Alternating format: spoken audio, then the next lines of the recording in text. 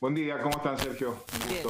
Bueno, nos llamó poderosamente la atención esto que se anunció en la jornada de ayer y queríamos desglosarlo un poco más a través de su conocimiento sobre qué tratados eh, estamos parados, qué se puede, qué no se puede hacer y porque es, una zona que todos reclaman, como o todos no, bueno, pero son varios los que reclaman, ¿no? Como propia. Sí, lo primero que hay que decir, Sergio, es que para la legislación argentina, eh, el sector antártico argentino es parte de nuestro territorio nacional.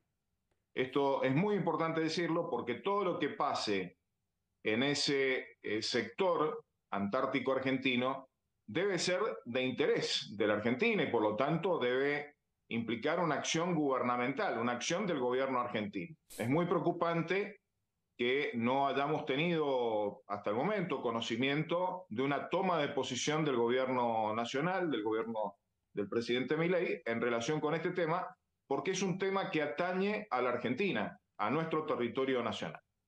Es cierto, existen reclamaciones de otros países, entre ellos Gran Bretaña.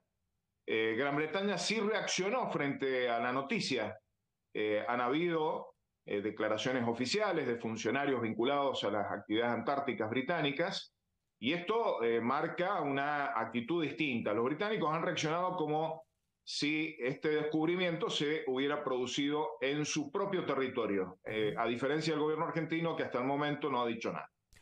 Lo segundo, esto que señalabas que es sumamente importante tenerlo en cuenta. El continente antártico está regido por un tratado internacional que es el Tratado Antártico de 1959. La Argentina no solamente que es una de las partes eh, fundadoras de ese tratado, sino que también la Argentina, y esto sobre todo hay que tenerlo en cuenta, hizo una reserva de soberanía eh, al firmar el Tratado Antártico. Es decir, dijo, este sector la Argentina reafirma que es este, propio y por lo tanto eh, hace valer sus derechos soberanos sobre este sector antártico argentino.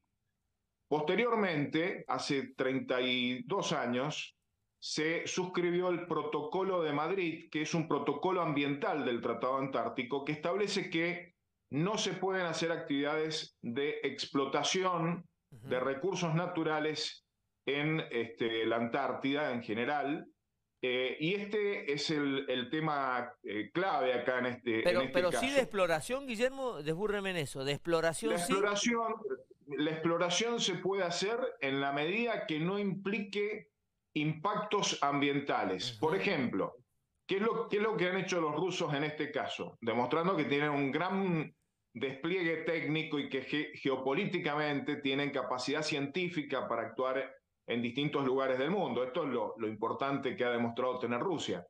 Eh, los rusos han hecho este, prospecciones que no han implicado perforaciones. Mm. Eh, por lo tanto, eh, son con tecnología electromagnética que les permite identificar cuerpos de minerales o cuerpos de hidrocarburos. No ha implicado esto una perforación como significaría una exploración hidrocarburífera de las que nosotros ahí en Mendoza estamos acostumbrados a que se realicen. Por lo tanto, estos, para, para confirmar em, la existencia de reserva, no la existencia, sino la dimensión de las reservas, se deberían hacer exploraciones con perforaciones y la Argentina debería, el gobierno argentino ya debería estar advirtiendo que no solamente en ese lugar, ese petróleo argentino que ha sido este, descubierto, no puede ser, este, por un lado, explotado, pero también la Argentina tiene que advertirle a otras potencias que no se pueden realizar exploraciones que impliquen eh, algún tipo de impacto ambiental porque se estaría violando el protocolo de Madrid. Disculpe mi, ignorancia. Ayer cuando vi las imágenes, las fotos, lo que se ve, se ve una, ¿no? ha montado allí Rusia un operativo importante. ¿Nadie sabía nada de esto o si se piden autorizaciones? ¿Cómo es ese proceso para poder establecer esta, esta investigación y ya dar este anuncio en la jornada de ayer? Bueno, eh, eh, es muy interesante esto que planteas. Eh, las actividades científicas en la Antártica, en la Antártida, son actividades que están mm, están eh, de algún modo determinadas por el propio Tratado Antártico. Y en las conferencias antárticas, los estados informan eh, sobre las actividades científicas que van a realizar.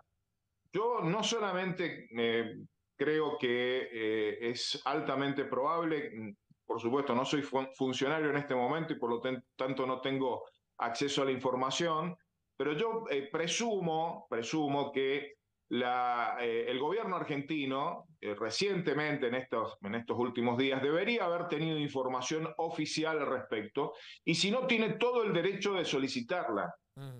todo el derecho de solicitarla, porque por ejemplo, las actividades científicas que nosotros realizábamos desde la Cancillería con el Instituto Antártico Argentino y la Dirección Nacional del Antártico eran eh, actividades científicas que nosotros la, la informábamos a la Secretaría del Tratado Antártico, que además tiene sede en Buenos Aires, está a pocos pasos de la Cancillería Argentina, informábamos las actividades que íbamos a realizar. Si la Argentina tiene cualquier inquietud al respecto, puede, los funcionarios de la Cancillería se cruzan, de, cruzan la Plaza San Martín, van a, la Secretaría del Tratado Antártico, que tiene sede aquí en la Argentina, y eh, solicita la información respecto de qué es lo que ha hecho Rusia allí. Así que sí, eh, em, el, acceso a esa información este, debe, debe ser facilitado por Rusia. Porque además, Guillermo, dada la característica del anuncio, digo, el, caudal eh, posible a explotar es impactante realmente. Ayer establecían algunas comparaciones con países este, que hoy dominan justamente el mundo del petróleo, el oro negro, y uno dice, bueno, ¿qué, qué, qué, potencial? Desconozco si en algún momento se podrá explotar, pero bueno. Ustedes saben que el, em, el Mar del Norte y el Ártico eh, son áreas, eh, esto en general se sabe, muy, muy importantes respecto de las reservas. Aquí los rusos están diciendo que en el sector antártico argentino hay 20 veces lo que hay en, en eh, esa área del Mar del Norte, ¿no? Es un, un, yacimiento evidentemente muy, muy importante. Yo sobre todo creo que hay que darle a esto una dimensión geopolítica también. Por eso es que es, muy importante que el gobierno argentino se ocupe del tema, no lo deje pasar. Argentina tiene que reafirmar la soberanía sobre el sector antártico argentino. Argentina tiene que decir, esos recursos, ese petróleo es nuestro. Es nuestro, claro. Es nuestro. Hay que hacer valer también las disposiciones del Tratado Antártico para que ningún país, ni Rusia, ni Gran Bretaña, ni ningún otro país, realice actividades que hoy no están permitidas por el Tratado Antártico. Y acá hay que tener en cuenta que este anuncio de los rusos se da en un contexto, por eso es que Gran Bretaña reacciona, en un contexto de crecientes tensiones entre eh, Rusia y Gran Bretaña. Hace pocos días fueron expulsados funcionarios diplomáticos rusos de, Inglaterra. Eh, ha habido también tensiones por el tema de Ucrania e incluso en, en el sector, en, en el área antártica, en el área subantártica que se llama, en los dos últimos años hubo tensiones entre Rusia y Gran Bretaña por la explotación de merluza negra ni más ni menos que en las islas Georgias del Sur, en nuestras islas de, Georgias del Sur. Nosotros en ese momento nos ocupamos del tema y fijamos una posición diciendo, ese territorio es nuestro, por lo tanto ni Rusia ni Gran Bretaña pueden este, utilizar maniobras geopolíticas en un área que es territorio argentino. Dos cosas, Guillermo, eh, dos reflexiones finales. en realidad, la primera es un dato que surge de los medios nacionales que dicen que hay bastante molestia en el gobierno nacional con Diana Mondino por no haber comentado en su momento esta situación o porque no estaba al tanto. Uno cree que en realidad al tanto deberían estar, eh, porque para eso hay trabajos de inteligencia que usted debe conocer muy bien. Y la otra reflexión es que qué impresionante cómo las potencias no mueven sus fichas. Nosotros quizás lo hemos visto en el TEG y no mucho más que eso, jugando con amigos pero esto es un constante movimiento, ¿no? En la, en la esfera mundial.